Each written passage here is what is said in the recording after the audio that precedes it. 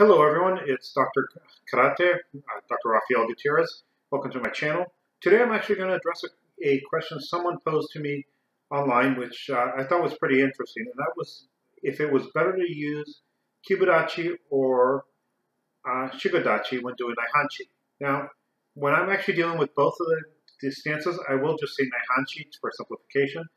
They are both slightly different, and that has to do with the position of the feet. Now, I will. I, do want to mention that uh, a lot of the things that I do in karate are actually based on what my late sensei, uh, Taba Sensei, uh, taught me, and there's a big a conversation towards the that I actually had with him when the last time I saw him, which was 2012, where he I think it was 2012, um, where he told me uh, that he always wanted to te- me to teach Okinawan karate, the real, what he said, the real Okinawan karate. And I know that's something he said to a lot of people. He really believed that if he taught you, he was going to teach you the real Okinawan karate, and he hoped that you would be the type of the person who would teach how, what he you felt was important to him. But there was another thing that was interesting about him, and that's a conversation I had with him. Uh, like I said, the last time I saw him, where he told me that he was teaching me his karate. It's the way he did it because of the way his body worked. But he wanted me to find my karate, use what he taught me, and teach my karate, make my karate better. He actually made a comment later on, uh, that same day I think it was, where where he said, "Learn from anyone who's willing to teach you. Take whatever works for you and make sure it actually makes sense to you, and that way you can get something a little better." Uh, the uh, it was actually based, it was translated to me because I don't speak Japanese. He doesn't speak English. Now, the one thing that's interesting is, as I actually look at some martial arts, a lot of times there's different ways people uh, approach it. Some people approach it as if this is what they're teaching, it's always what they've taught, and it doesn't matter if there's new information out. They're going to teach what they feel is right because that's what they were taught.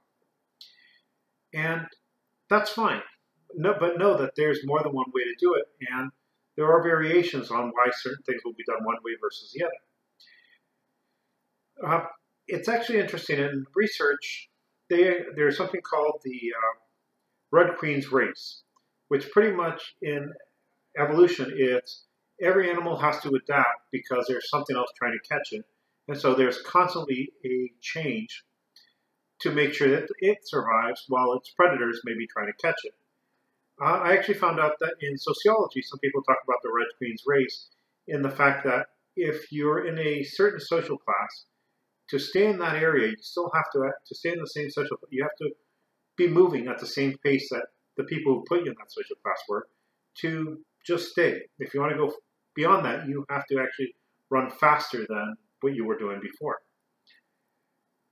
And so one of the things is uh, with karate, there is actually a queen's race in there. And what I mean by that is this: once upon a time, people look at martial their karate, their martial art, in a box. This is what I was taught. This is what's there. That's what I'm going to teach. And somehow someone decided, well, look, let's do tournaments so we can see what everyone's doing and see what works best there. Now, with tournaments, you had a bit of consensus judges decided what actually was the way things were done. Katas were done a certain way because those scored better. In uh, kumite, point spar, if it was point sparring, people would say, okay, these techniques count, these do not. And so karate was modified based on the tournament circle. Things changed because of what was winning. Later on, you did have some full contact fighting, and things again changed because for safety, you put you put rules, and so certain things worked great when you were doing full contact fighting.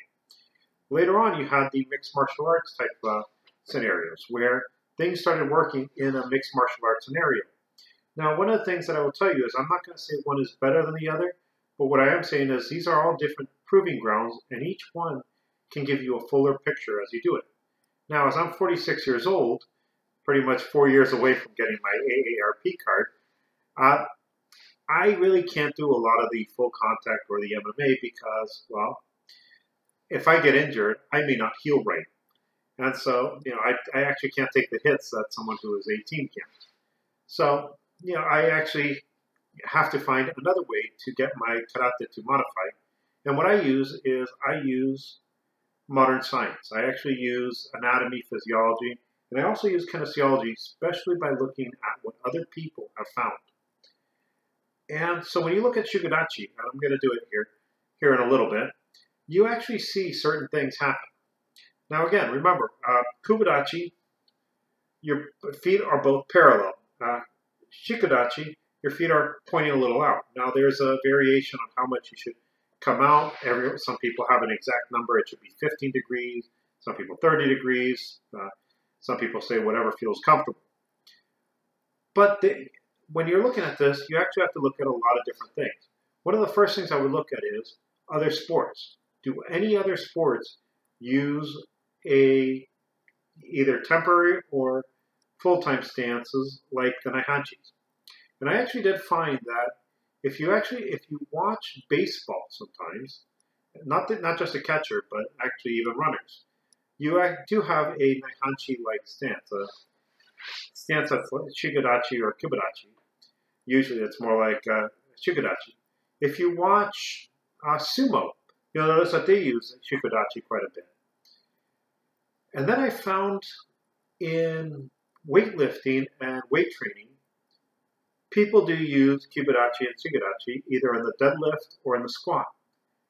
And what I did is I went to the sites, the original research from people who are doing uh, research on the uh, squats and deadlifts in whether they use Kubadachi or Shikodachi. And what I found was there were so many articles and so many different uh, organizations that there were things that were different in one versus the other. Now, there is actually something that was common in all one of the first things that I actually found is there was one article that was looking at EMG in both the standing with your feet parallel or out in weightlifting, and they used EMG to determine how much of the muscle was being activated. And what they found is it didn't matter whether your feet were parallel or slightly out. Both of them activated the same amount of muscle. So the whole idea, some people will say one way is more powerful than the other the whole idea that one is more powerful really gets thrown out the window because EMG studies are telling you they both have the same one. What is interesting though about that one of the studies is they also did a staggered foot formation. So what they did is one foot was out on the outside, one of them was a little farther back, and that one ended up having more muscle being used when he squatted than the two other ones together. There's another thing that seems to be universally agreed upon and that is that the knee and the toes should be pointing the same direction. Uh, meaning that if your toes are going uh, at a 30 degree or 15 degree out, your knees should be pointing uh, 30 or uh, 50 degrees out. Exactly. And so that's actually one of the things that, again, was universal. And so this, that actually gives us a lot of different things. You know, one is both stances to this point are just as beneficial. The issue may actually be in how far wide you go or how far in you go. Most of those studies were saying either short to have your uh, hip, the feet, shoulder length apart, or just slightly over, or in the uh, actually just uh, at the hip area or slightly over. And so that was it. When they actually said that if you went out too far, you could actually could do damage to your knees on both stances.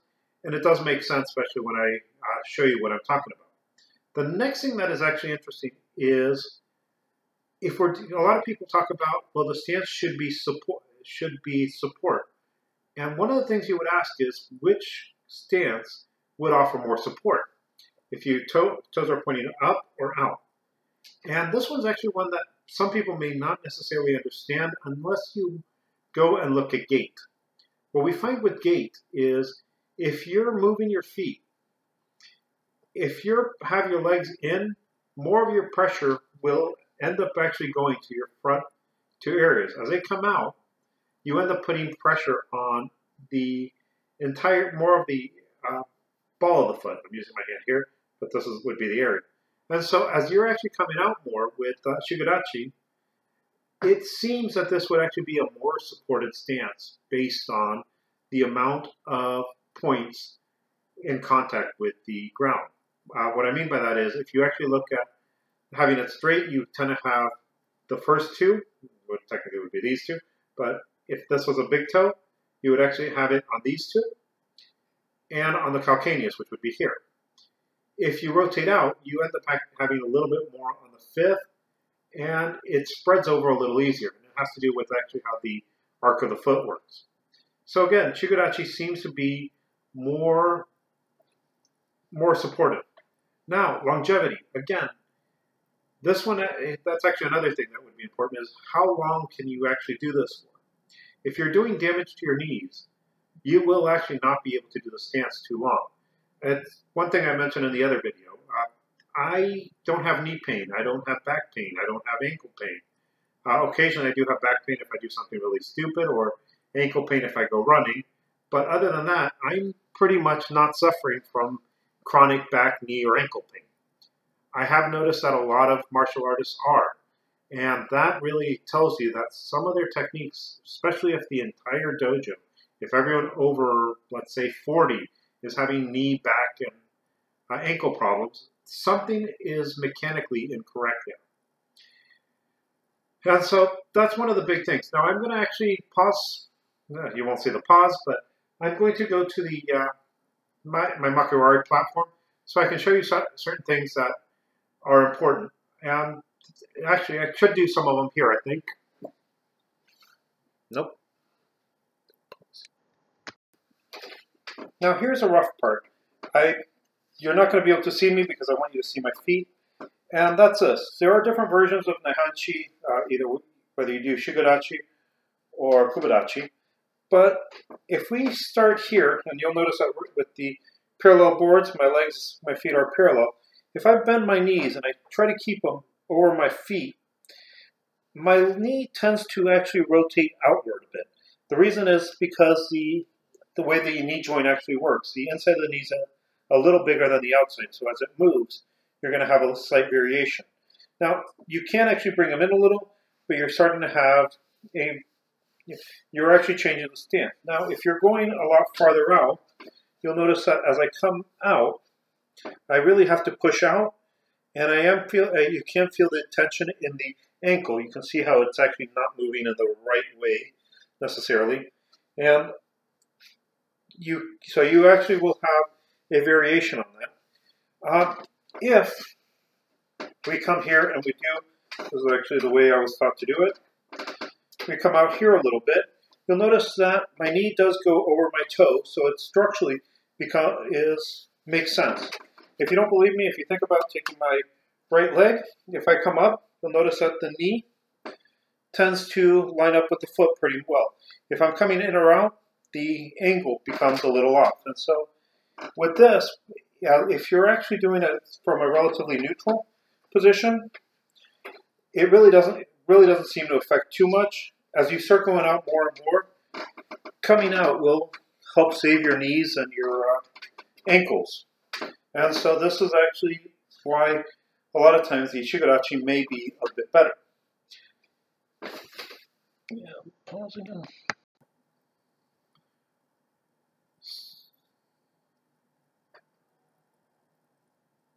So with uh, seeing that, what we actually can see, at least in the demonstration I did, and I know that people can do it a little different, maybe can get a better uh, way, we can actually see that for longevity, support uh, points of the foot, and power, the power really doesn't matter. They're both going to be just as powerful. The support of the points of the foot, it seems that rotating out, as in Shikodachi, uh, would be a bit better than the Kibadachi straight out. And for longevity, depending on how wide you go, the uh, would, well, pretty much the wider you go, the more important Shikodachi versus Kibadachi would be. Uh, just because it could do damage, these things could do damage to your joints. If you're relatively neutral, it probably isn't going to be that big of a deal, but, uh, well, you can actually uh, look at this. Now, there was another thing that I actually mentioned earlier that should come back, come, uh, come that you may pay attention to, and that is when your toes are both forward and you want to move in a different direction. To move, you're really geared just to move in one direction. Both feet are aimed to go forward only. If you're rotated to the sides here, this foot is ready to shift forward here. You don't have to rotate now out here. It's just a one movement here. Your muscles are actually already ready for that. And the same thing. That's why if you actually look at shortstops when they're waiting for a pit for something, you'll know, notice that a lot of them will be in a, a shikodachi-like position. In basketball, sometimes you'll see that same position. And even in football, American football, you'll see people standing there. Soccer, usually people are moving too much to uh, just stand in one place, but I guess you can't see it in there, and in volleyball as well, I think. And so one of the things we do see is we see that a lot of sports outside karate are using the shikodachi for a reason. We also can see that based on the research that is done, it seems that shikodachi is a, lit, a bit safer for a lot of things, especially if you're going wide. Uh, you see a lot of uh, tournaments going wide, and that's the thing. It has to do with lining up the knee to the foot, and also check making sure that your hips are moving the, in the right direction. Now, I hope you enjoyed this, first of all, and I also wanted to mention that now that the vaccine is coming out, and hopefully in a few months, will all, anyone who wants it will be able to get it. Uh, I feel that you know life will begin again without COVID, and I'm I know that a lot of people who have martial arts studios have suffered from COVID. You have students who have stopped, coming. Some of us had to uh, close down dojos because, well, safety concerns. And I will say that I'm one of the fortunate people who has income from an outside source, uh, teaching, whatever. And so I actually would like to offer anyone who watches uh, this, if when things are open and available, if you're interested in knowing where I would be, or actually not where I would be, if you're interested in me visiting your dojo for some something, if you think that I could actually help you guys in some way uh, by showing up, uh, if you let me know where your dojo is, I will make sure I call I contact you uh, before I get there, and maybe we could set something up that would help you your school out. I hope you enjoy this and have a nice day.